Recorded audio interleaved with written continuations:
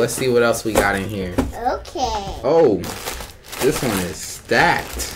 Ooh, So this is uh, October's box in honor of Octavius Catto. Aaron actually does videos for these boxes as well, where he lets you know like what the inspiration for the names were. The Cut Buddy, easy hairline and beard lineup template. That's what's up. So, so if you cut your own hair, you can actually use this to make sure you get a a nice smooth smooth Hey, lineup. is- Artisanal Ma- Meyer lemon and lavender. Hey, hey, That's Daddy. what's up. Oh, a candle. Daddy.